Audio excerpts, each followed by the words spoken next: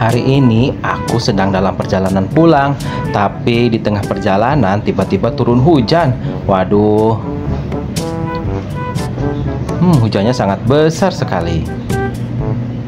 Seandainya saja tidak hujan, pasti aku berhenti dulu mau mencari kipas angin karena aku suka sekali loh ngoleksi kipas angin.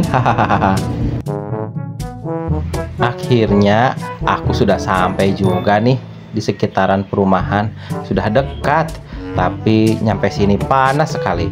Baru saja turun hujan sekarang panas. Hari ini sangat panas sekali loh teman-teman. Jadi aku berhenti dulu di sini ya, berteduh dulu di ada odong-odong butut ini. Karena hari ini sangat panas. Wuk wuk wuk wuk wuk wok wok. Wah, itu suara apa ya? Terdengar sangat keras sekali. Uh, weleh weleh. Ternyata di sini ada kipas angin. Kipas anginnya ada di bagian mesin yang sudah butut. Wah, kok di atas odong-odong butut ini ada kipas angin yang sangat bagus ya? Dan sepertinya aku baru lihat loh ada kipas angin sebagus dan secantik ini. Tuh kan sangat indah sekali. Waduh, seandainya ini diberikan ke aku, pasti aku akan mengoleksinya. Uh, coba deh aku cari lagi ke sini.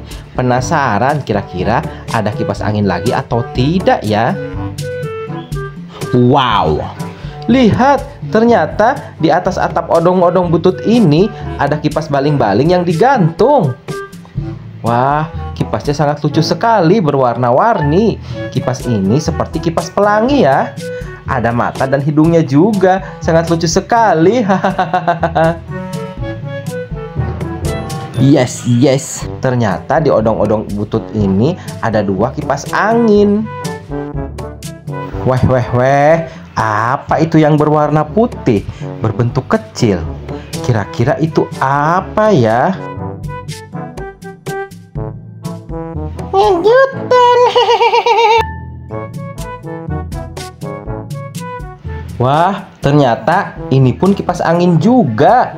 Kipas angin ini lebih lucu dari yang tadi loh Dan kipas angin ini sangat bahagia karena ada motif tersenyumnya Waduh, lucu-lucu sekali ya kipas koleksi odong-odong butut ini Seandainya kipas ini dikoleksi sama aku Hmm, pasti jadi kipas favorit Yes! Jumlahnya ada tiga. Kipas yang sangat lucu sekali. Apalagi yang pelangi ini. Hmm. Wow, wow, wow. Uh. Yang tengah dua pun tak kalah lucunya.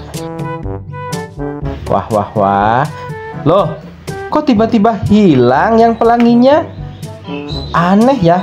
Loh kok hilang lagi Loh kok semuanya hilang Ini kenapa Jangan-jangan itu kipas angin ajaib. Waduh, kira-kira kipas angin odong-odong butut ini ke mana ya menghilangnya? Di bagian mesin butut pun sudah tidak ada. Hmm, kira-kira ke mana ya? Coba deh aku cari ke sebelah sini. Wah, nanti dikira aku yang ambil lagi sama pemilik odong-odong itu. Wow, wih, lihat ada di atas mobil. Ya ampun, kok tiba-tiba ada di sini ya?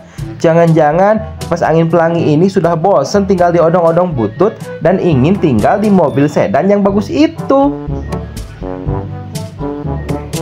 Wah, kamu jangan jauh-jauh ya kipas angin. Nanti kamu dicariin loh sama pemilik odong-odongnya. Aku taruh lagi deh di situ di tempat semula. Coba deh aku cari lagi kipas yang lucu itu karena yang duanya itu juga ikut menghilang. Kira-kira ke mana ya? Waduh, waduh, waduh. Oh, ternyata ada di bawah situ.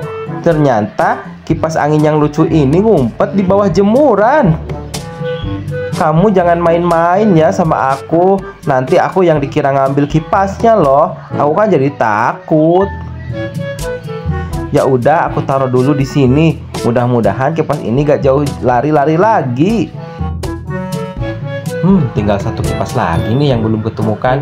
Kira-kira kipas itu di mana ya? Ya udahlah, biarin aja. Loh, kok tiba-tiba kipas anginnya ada di tangan aku? Aneh banget. Benar-benar kipas angin yang sangat ajaib. Kipas ini seperti burung ya, nempel di tangan. Wow. Aku taruh lagi kipas ini ke tempat semula ya, yang ada mesinnya itu loh. Udah, kamu betah-betah di situ ya kipas. Nanti kamu dicariin sama pemilik kamu.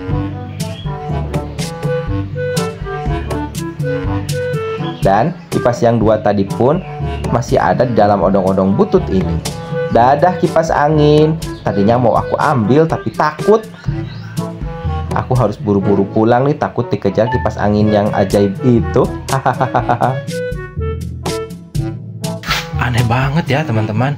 Kipas anginnya pindah-pindah. Sekian dulu ya untuk cerita kipas hari ini. Sampai jumpa di cerita-cerita kipas berikutnya. Dadah.